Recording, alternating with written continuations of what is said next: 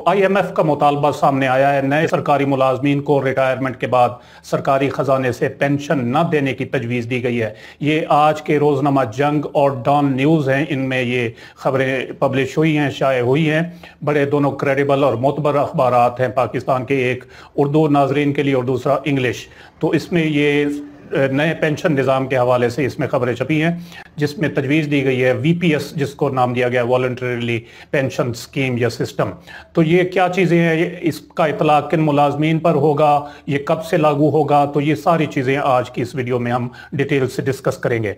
तो ये रोज़नामा जंग पहले देख लेते हैं, ये आपके सामने है। आई एम एफ़ का मुतालबा, नए सरकारी मुलाजमीन को रिटायरमेंट के बाद सरकारी खजाने से पेंशन न देने की तजवीज़। ये पाँच मार्च दो हज़ार चौबीस की ये खबर।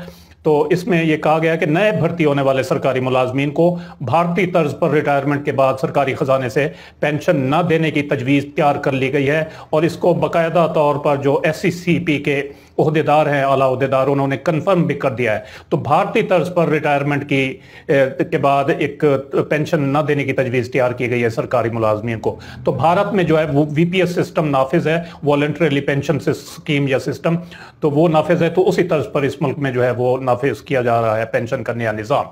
तो जराया ने बताया कि यकम जुलाई से नई रजाकाराना स्कीम लाने की तैयारी कर ली गई है। यकम जुलाई दो हज़ार चौबीस से तमाम नई सरकारी भर्तियाँ रजाकाराना पेंशन स्कीम के तहत किए जाने का इम्कान है। सरकारी खजाने से पेंशन के 400 अरब रुपए का बोझ खत्म करने के लिए आईएमएफ के मुतालबे पर यह नई पेंशन स्कीम तैयार की गई है। वजारत खजाना के जराये ने कहा कि पुराने भर्ती सरकारी मुलाजमीन को पेंशन बजट से ही दी जाएगी, जबकि नए सरकारी मुलाजमीन के लिए रजाकाराना पेंशन स्कीम तैयार कर ली गई है।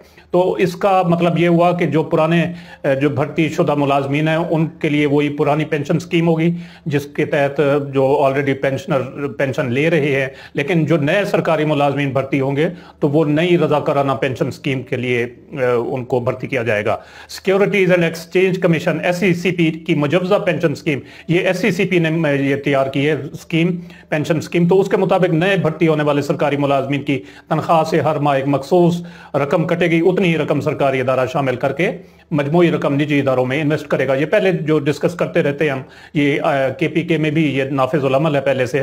तो इसी तर्ज का एक निज़ाम एक ऑर्डिनेंस के ज़रिए पंजाब हुकूमत ने भी राइज किया है, नाफिज किया है तो अब वफाक में भी वो नाफिज होने जा रहा है, यकम जुलाई 2024 से।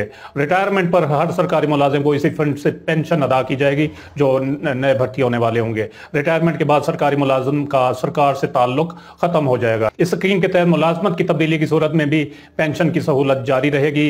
इस वक्त मुल्क में तैतालीस पेंशन फंड काम कर रहे हैं। इन फंड में इकसठ अरब रुपए की सरमारी सरमाकारी की जा चुकी है। इन्वेस्टमेंट की जा चुकी है। मुजवजा स्कीम के मुताबिक पुराने सरकारी मुलाजमीन भी इस स्कीम में शामिल हो सकती है। उनके लिए कोई ज़रूरी नहीं है, लेकिन वो शामिल हो सकते हैं। वफाकी हुकूमत मौजूदा सरकारी मुलाजमीन की रजामंदी से उनको नई स्कीम में मुंतकिल कर सकती है।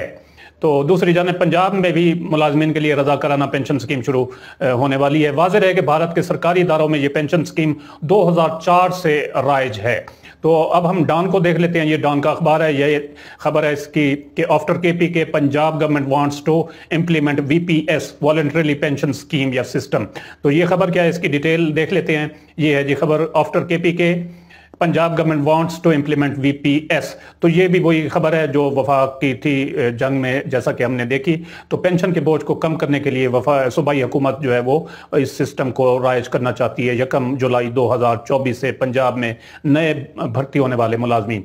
ये खालदा हबीब साहबा हैं इसकी एस सी सी पी की जो हैं अहदेदार उन्होंने कन्फर्म किया कि पंजाब हुकूमत ने बाकायदा तौर पर उनको इस स्कीम के लिए अप्रोच किया है। तो एस सी सी पी की ये तैयार करदा स्कीम इसको वफाकी हुकूमत भी अपनाने जा रही है, और इसके बाद पंजाब में भी इसको लागू किया जाएगा। तो ये नाजरीन ग्रामी थी, एक इंपॉर्टेंट न्यूज़ जो आपके साथ शेयर की गई। इसमें ये होगा कि ये यकम जुलाई 2024 से नाफिज होने जा रही है स्कीम। जिस तरह पहले पेंशन मिल रही है ऑलरेडी पेंशनर्स जो पुराने हैं, उनको मिलती रहेगी। फैमिली पेंशनर्स को भी मिलती रहेगी पेंशन और जो पुराने सरकारी मुलाजमीन हैं, उनको पुराने सिस्टम के तहत जो है वो पेंशन दी जाएगी। अलबत्ता वो इस नए सिस्टम में रजा कराना तौर पर शामिल होना चाहते हैं तो वो हो सकते हैं। लेकिन ये स्कीम जो शुरू की जा रही है, ये नए भर्ती होने वाले मुलाजमीन के लिए होगी, वफाक में भी और पंजाब में भी। इसके बाद दीगर सूबे जो है ना, इस स्कीम को अपनाएँगे। सिंध भी और बलूचिस्तान में भी। और के पी के जो है वो ऑलरेडी इस स्कीम को जो है वो नाफिज है, उनके सूबे में मुलाजमीन उसके तहत अब रिटायर हुआ करेंगे।